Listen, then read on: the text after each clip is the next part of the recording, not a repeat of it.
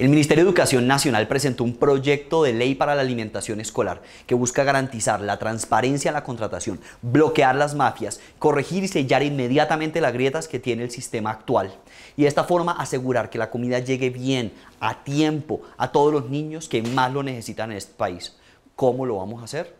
Primero, vamos a organizar las fuentes. En Colombia tenemos una dispersión y un desorden absoluto en la forma en la que se contrata en el país la alimentación escolar y esto tiene que ver con las múltiples fuentes presupuestales. En Aguachica, una contratación con una fuente presupuestal en la alcaldía y otra en la gobernación. En Colombia tenemos seis fuentes presupuestales y tenemos que ordenarlos a través de una ley orgánica, una ley de una estructura legal específica. Lo segundo es que debemos intervenir y tener mayor control en el programa.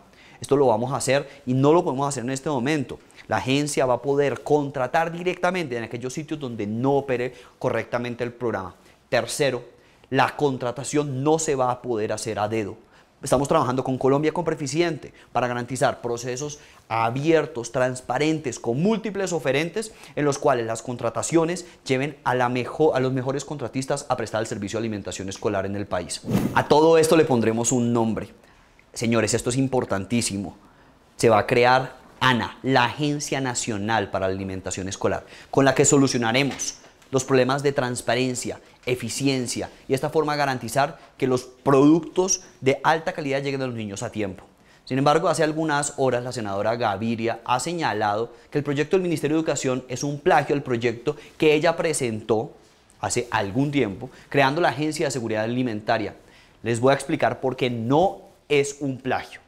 Como les dije, nuestro proyecto ANA está orientado a regular el programa de alimentación escolar, por medio del cual se atienden a los estudiantes de preescolar, primaria y bachillerato del país, mientras que el de ella busca crear un sistema que garantice la seguridad alimentaria y nutricional de la mujer en embarazo, adultos mayores, desplazados, víctimas del conflicto, es decir, a toda la población colombiana. Los requisitos para la creación de una agencia están especificados por el artículo 50 de la Ley 489 de 1998, que dice que todos los proyectos que crean una entidad deben tener los siguientes componentes. Primero, una denominación para la entidad. Segundo, su naturaleza jurídica. Tercero, la sede. Cuarto, la integración de su patrimonio. Quinto, los órganos superiores de dirección y administración. Y sexto, el ministerio al cual estará adscrita o vinculada. Por, eso la estructura de la agencia de la senadora que toma como referencia la Agencia Nacional Minera es muy similar al proyecto de ley presentado por el Ministerio de Educación, porque ambos cumplen con esa exigencia legal de tener una estructura y segundo, parten de la Agencia Nacional Minera en su definición. Los colombianos pueden constatar que los textos con los que las leyes se crearon agencias como la Agencia Nacional de Seguridad Vial, la Agencia Nacional de Minería y la Agencia Nacional para la Superación de la Pobreza Extrema mantienen la misma estructura. Entonces yo me pregunto, ¿dónde está el plagio? En la construcción de un proyecto de ley es necesario definir algunas palabras que tendrán incidencia especial frente a esa ley.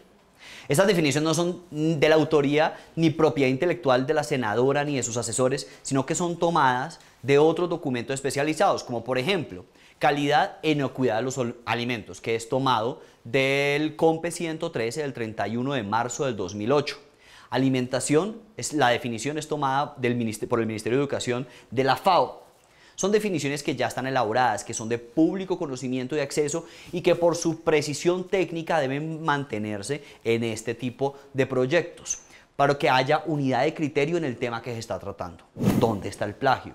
Les vamos a contar algunos de los artículos que tienen casi idéntica redacción y, que crearon algunas de las agencias que he mencionado el artículo que establece la creación y naturaleza jurídica de los proyectos del Ministerio de Educación y de la senadora Gaviria son similares a los de la Agencia Nacional de Hidrocarburos y la Agencia Nacional de Minería. Asimismo, el artículo que establece el domicilio para la creación de una agencia, en los casos que estamos comparando, son semejantes. Con relación a las funciones del Consejo Directivo, de los casos podemos comprobar que tienen una redacción similar. Por último, las funciones de la Oficina de Control Interno de los casos que estamos viendo tienen las mismas actividades.